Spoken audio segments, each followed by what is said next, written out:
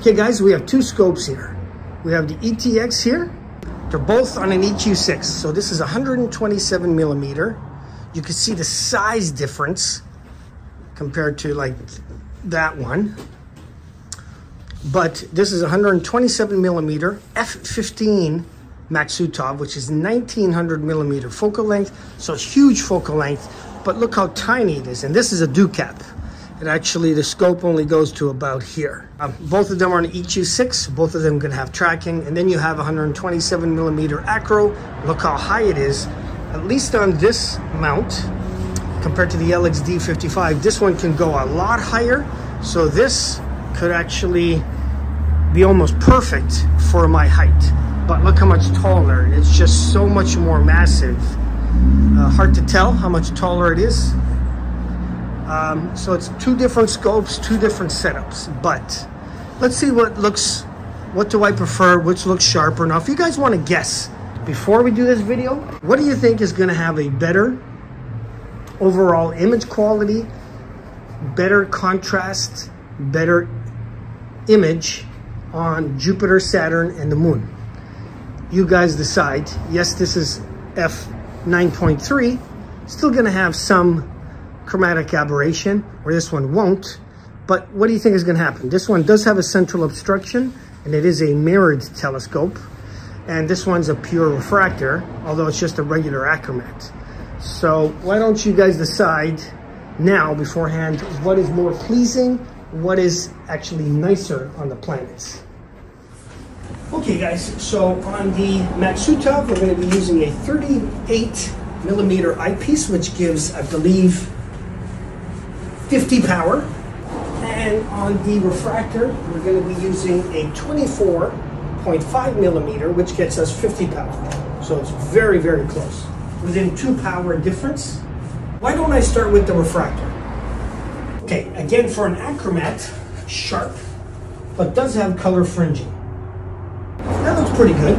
I mean, most people would be happy with that. But it seems to be already focused, or mostly focused. Okay, also looks very sharp. Okay, let me go back to this guy.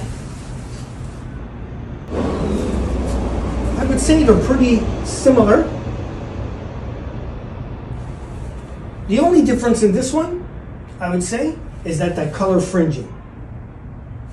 That's really about it. Both look fairly sharp. Both, I think people will like it. Okay, let's bump up the power. Okay, the ETX, let's go to a 13 millimeter, which is now 146 power. So we're going three times higher. Woo. Oh, that's close. Oh, very nice. Okay, okay. And let's see what we're going to use with the me. The okay, look at that. 146 on this guy, 147 and a half on this guy. You can't really get much closer than that. Okay, let me just move it. Okay, that's also a nice image. Hmm. You know what, to me it looks very similar. Really don't see any difference. It's really, I would say a tie on the moon. Why don't we go, let's go to Saturn. Okay, we're gonna go, I would say a tie. You don't see too much chromatic aberration when you're high close. It's when you see the rim so let's go on to Saturn now. Okay, so again, we're at the 48 and 50 power range. Same thing. Okay, looks sharp. Now, comparing what I did that last video on the LXD 55, this is much more stronger. It, it's very tiny, the uh, image. So, okay, let's focus. 48 and 50 power, They're, they're very close. I, I can't, this one, because of no chromatic aberration, might be just a hair. Just a hair better, but hard to tell. Both look very good. So let's go back to 146 and 147.5. Okay, we'll start on this one now. Nice. Now let's go here. trying to just get perfect focus so I can study it. That's a very nice Saturn. Hmm. You know what, guys? I'm going to say this is kind of like a tie. Yeah, I would say still a tie. So let's see what we're going to do here. So we're going to bump up this to 238 power. Now, I believe like 250 is the maximum for pretty much both of these. So we're 238. Uh, we're practically at the maximum right now. Okay, the central donut on this one is perfect. Okay, what can I use on the Meade? 236, 238. Oh my God, that's really close. This is why if you guys like to do comparisons, I would recommend you get a good, like high-powered you could either get like the radians because they come in three, four, five, six, seven, eight millimeters or something like that. You need like every increment of millimeters or you're never gonna be able to reach uh, the, the power. So at 236 here, we're gonna do 238 on that one. Two power difference is like nothing. You really can't get any closer. Let's do it. Okay.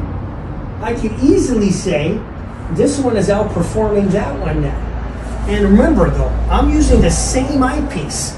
It's the SVBONY uh, three to eight millimeter zoom.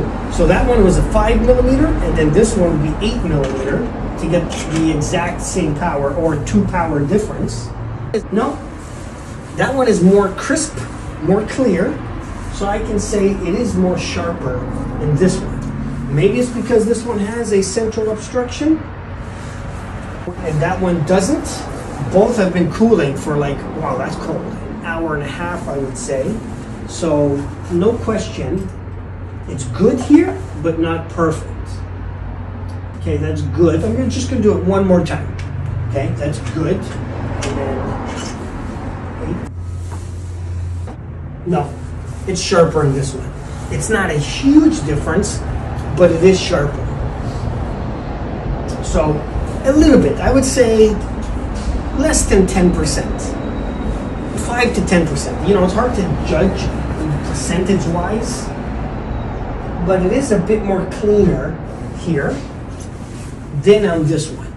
Now it is good here, but that one's just a tiny bit better. It's good image, but just a tiny bit better. Between 5 and 10%, which is not a lot. Anyway, guys, hopefully you like this video here. And uh, just showing you the difference. That one's much, much longer. And you really need a tall, tall tripod for it. And even though it's at the highest, looking at Saturn there, um, I'm bending down a little bit. I mean, not a whole lot, but a little bit. So you guys know. This one is, if you're looking for something portable, Okay, it's coming very close to a clear aperture.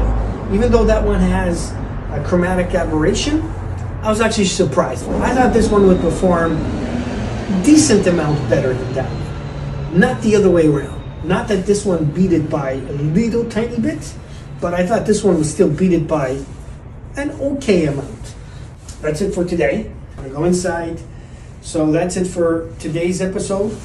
Hopefully I'm not sure if that surprised you guys. Okay guys, like, comment, and subscribe. I'll see you guys on the next video.